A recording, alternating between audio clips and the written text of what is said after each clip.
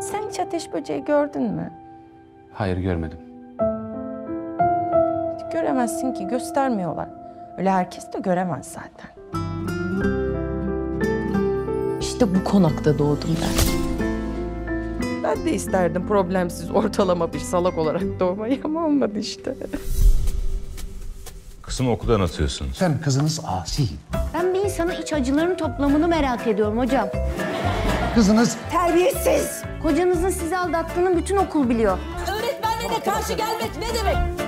Biraz dilini tutmayı, insanları idare etmeyi öğrenmen lazım. Bu adam kim? Beni istemeye gelen talihsiz bir gençti. Buyurun kimi istemiştiniz? Beni değil mi? İşte bu yüzden ben bu insanları takdir ettim baba. Sonuçta bugün hangi doğru düzgün bir aile oğluna dul bir kadın ister ki?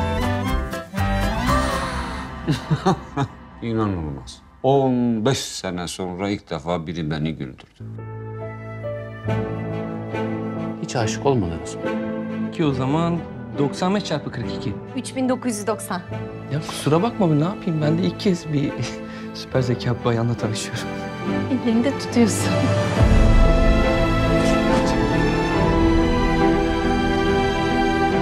Sen yalnızlığı yakından gördün mü hiç? Ben gördüm.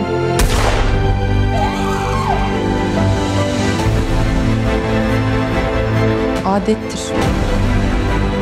Benim sevdiklerim erken ölür. Sonumuzu Allah bilir. Ama başlangıçlar bizimdir.